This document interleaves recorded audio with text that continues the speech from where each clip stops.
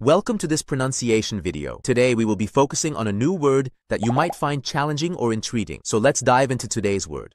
Tevere, which means, The Tevere is the Italian name for the Tiber River. let's say it all together. Tevere. Tevere. Tevere. One more time.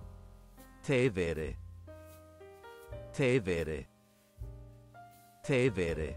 Thank you for joining us on this adventure in pronunciation. Remember, language is a journey, not a destination. Keep exploring, experimenting, and expanding your linguistic horizons. We'll see you next time.